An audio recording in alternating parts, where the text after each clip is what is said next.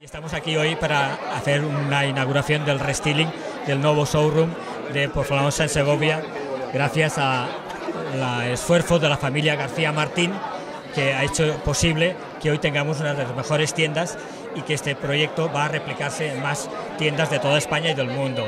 Estamos en la fábrica, junto a Kevin Costner, me acuerdo perfectamente, y otra compañera como era Claudia Schiffer, eh, conocí a, una familia con una calidad humana impresionante y luego lo que más me gusta de ellos es que aparte de esa calidad humana es un ejemplo, ¿no? ver cómo exportan el nombre de porcelanosa por el mundo y España y ver una empresa tan potente, para mí por supuesto que es responsabilidad, pero es un orgullo cada vez que me llaman y, y poder acompañarles en cada éxito. Todos, desde, desde la fundación. voy a hablar de 35 a 40 años.